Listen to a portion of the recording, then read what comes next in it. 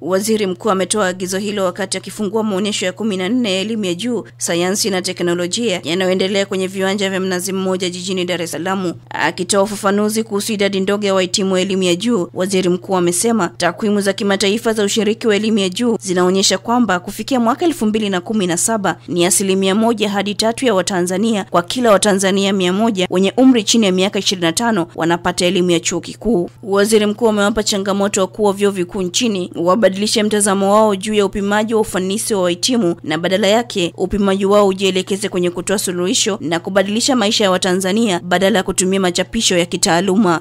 Uko umuhimu wa kuona kwa nini cheti hicho hakitambuliki, na kama hakitambuliki, kwa nini tunawapeleka Watanzania pale, na miongoni mwao ni wale ambao serikali inawadhamini kwenda kusoma pale.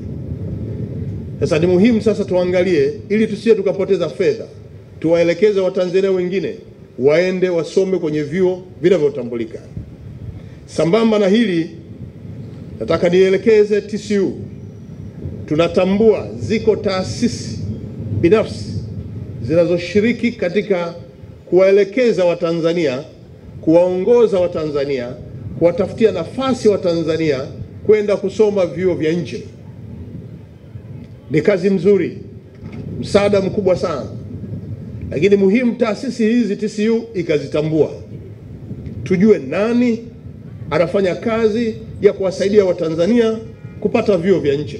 Naibu Waziri wa Elimu, Sayansi na Teknolojia William Ole Nasha amevitaka vyuo vikuu nchini kuunga mkono serikali ya awamu ya tano juu ya uanzishwaji wa viwanda kuelekea uchumi wa kati. Mitaala ya vyuo vikuu na taasisi zingine za elimu ya juu imeendelea kuboreshwa ili kuendana na mahitaji halisi ya soko.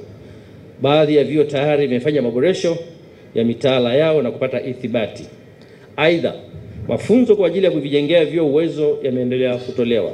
Kwa mfano, kwa mwaka 2018-19 TCU imetoa mafunzo kwa makamu wakuu wa vyuo vikuu na vyuo vikuu vishiriki 40 na wanataaluma 132 juu ya usimamizi wa mafunzo na uanzishaji wa mitaala inayoendana na mahitaji halisi ya soko. Kwa upande wake mkurugenzi mtendaji wa TCU Profesa Charles Kihampa amesema taasisi 81 za elimu ya juu zimeshiriki maonyesho hayo ambapo taasisi 15 ni za nje ya nchi na taasisi 66 ni za hapa nchini. Maonyesho ya mwaka huu yamehudhuriwa na taasisi 81. Kati ya taasisi hizo, taasisi 66 ni za ndani ya nchi na taasisi 15 ni taasisi kutoka nje ya nchi. Ni moja ya maonyesho yaliyofana sana toka maonyesho ya elimu ya juu yalipoanza. Kauli mbiu ya maonyesho hayo ni jukumu la taasisi za elimu ya juu katika kuzalisha ujuzi unaohitajika kwa ajili ya viwanda. Maonyesho hayo yanataraji kufungwa Julai 20 mwaka huu. Angela Matayo, Star TV, Dar es Salaam. Bofya kitufe cha subscribe kisha gusa alama ya kengele kupata taarifa za Star TV muda wote wakati wowote.